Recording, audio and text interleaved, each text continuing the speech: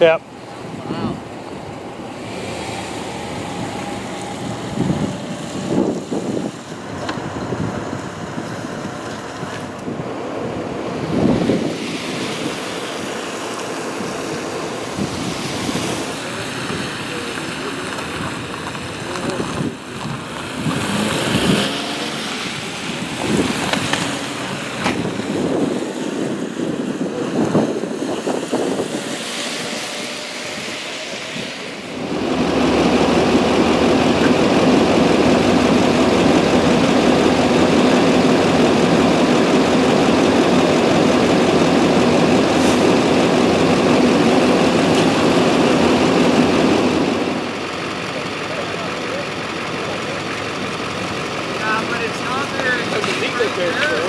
Know. I, Well, you I've go got to so much spiel about it. I'm like, dude, I don't even understand it. I So know. Stop if telling you me. go to the legal terms, you can't own a car.